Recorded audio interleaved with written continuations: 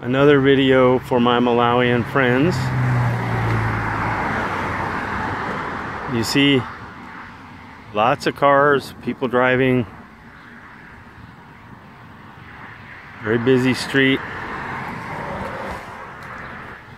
That's downtown right there.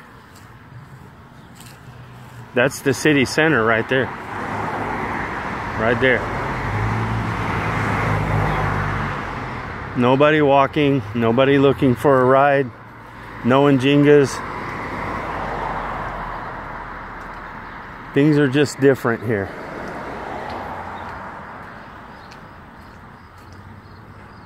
But when you come here, this is, you know, you'll be part of this. You can expect this. There's a public park down there. You won't see anybody wearing a mask.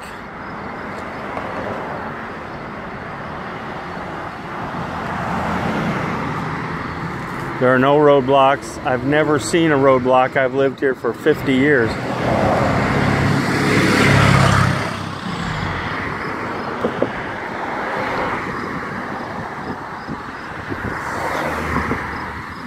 Most Americans own their home. Uh, a lot of people rent, mostly because they're not sure if they want to stay in a certain place for a long time or not.